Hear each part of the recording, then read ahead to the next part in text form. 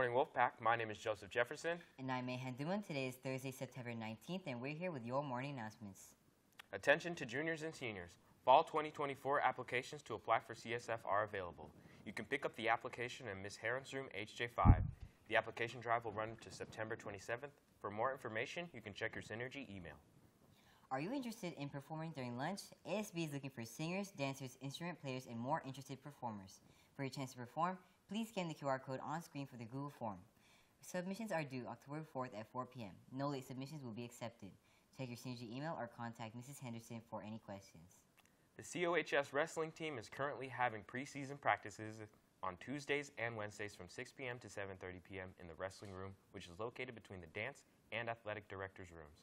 For questions, contact Coach Curtis by emailing consumnesoakswrestling at gmail.com and check out the COHS wrestling team Instagram. Now let's tune into the news with Summer and Everett.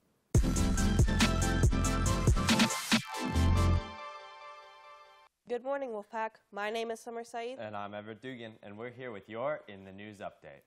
On Tuesday, a 13 year old girl was accused for making online threats of violence targeting Chemawa Middle School and specific students as well. The student, who is still unidentified, has been arrested and booked at Riverside County Juvenile Detention Facility for her criminal threats against the school and fellow students. This isn't the first of many violent threats sent to schools, as since the Apalachee shooting in Georgia, more and more threats have been occurring, worrying parents, students, and teachers. On another note, the Titan submarine that imploded last year, killing five wealthy individuals that wanted to see the Titanic, has been found. Former operations director for OceanGate, the company behind the expedition, says he alerted the company to safety concerns but was largely ignored. Video footage was released yesterday of parts of the submarine that were discovered by the U.S. Coast Guard. The submarine is in shambles and looks like something straight out of Subnautica. They have yet to find any bodies, but it is clear they're dead, as no one could have survived the catastrophic implosion. Well, that's all the news we have for you today, Wolfpack. I'm Summer Saeed. And I'm Everett Dugan. Let's, go back, to, the anchors.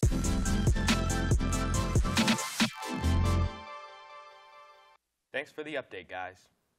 Tomorrow is our first parent luncheon of this year. Remember that parents must have a valid ID and sign in at the front office. Other family members must be accompanied with a parent or guardian. Lawn chairs and blankets are highly encouraged, but don't forget that DoorDash, Grubhub, or other uh, delivery services must be dropped off at the gates of the MP room. No office drop-offs will be accepted. You can check your Synergy email for more information. We hope to see you there. Lunch meditation rooms are now open for both lunches if you need a pl- place for quiet reflection or prayer. Meditation rooms are indicated with these signs in the window.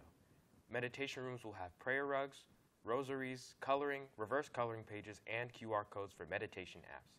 Some rooms will also have yoga mats, and you are welcome to come and relax here after you have finished eating. Here is the current meditation room schedule. Homecoming will be taking place next Saturday, September 28th. This year's theme is Once Upon a Time. Tickets are now on sale, $20 with ASB and $25 without. Guest passes cost $30 and require an ASB card. The no privileges list will be enforced. For more information, check your Synergy email. Attention seniors, do you want to learn about the post-secondary financial aid process? Well, you're in luck. Financial Aid Night is next Thursday, September 26th from 6 p.m. to 8 p.m. in the MP room.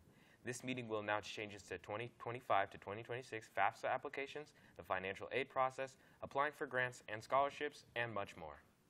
CUHS Vietnamese Student Association is having a fundraiser at Hyper T on Saturday, September 21st from 1 to 7 p.m.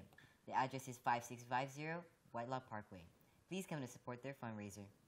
Well, that's all we have for today, Wolfpack. Have a thrilling Thursday. I'm Joseph Jefferson, And I'm Hay- Mayhan Duman, and remember the strength of the pack is a wolf. and the strength of the wolf is a pack. Happy National Talk Like a Pirate Day, Wolfpack.